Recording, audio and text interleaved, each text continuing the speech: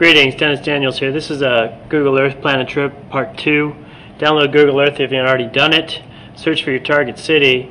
I went for Damascus earlier, but there were no photos there. Um, I also went to Google Earth Hacks, which is not affiliated in any way with Google, blah, blah, blah. And I also went to Panoramio, which is right here, 3D view, planet, planet view of the planet.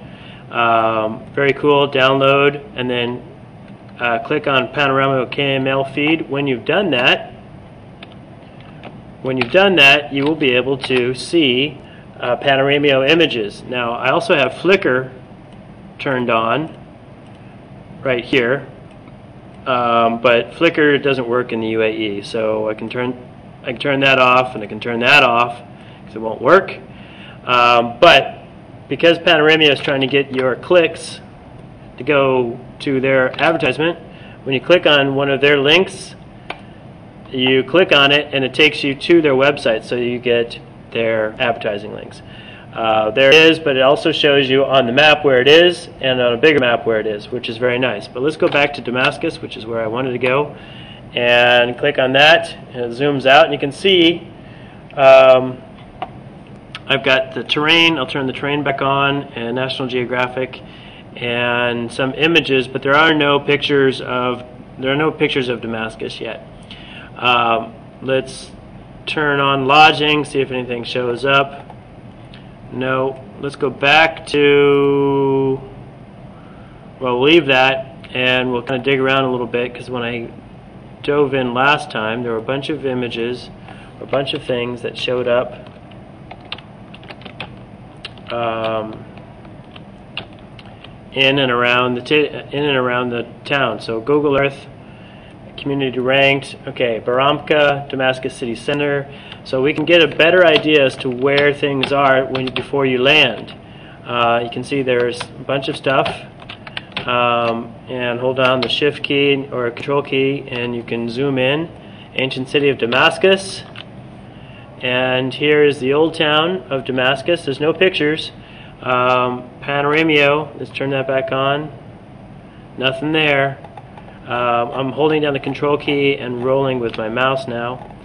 Um, traffic looks pretty intense around there, but I would say that if I was going to stay in Damascus, this might be a good place. You can see, got a sports center, not very interesting, and no, I'm not very interested in that, but you have something here, looks like a major city center.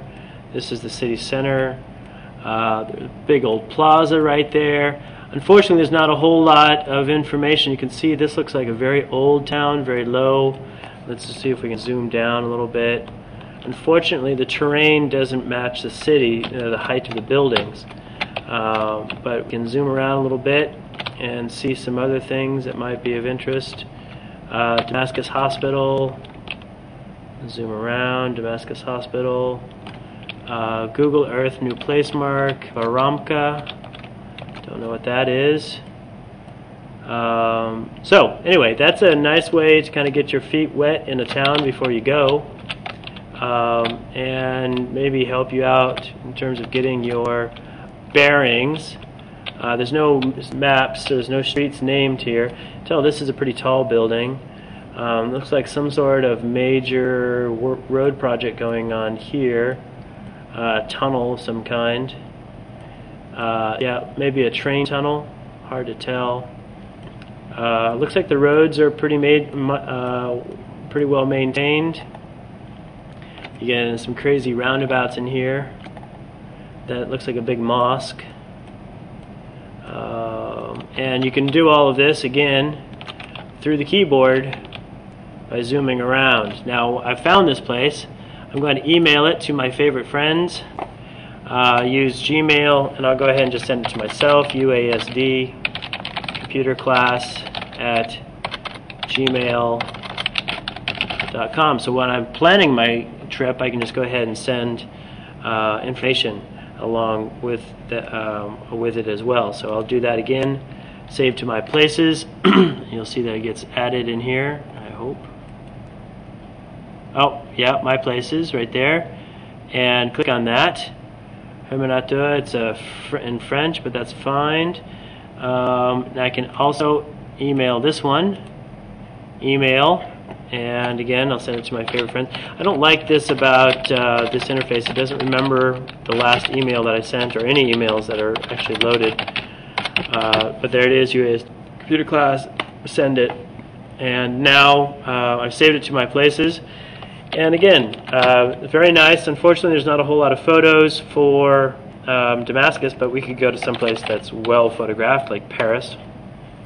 And zoom us out and I'll give you a sample of what those pictures look like I was telling you about earlier and because I have um, I have my Panoramio turned on it should load you can see all of the lodging turn the lodging off um, and we'll zoom in a little bit and I should be getting some images here in a moment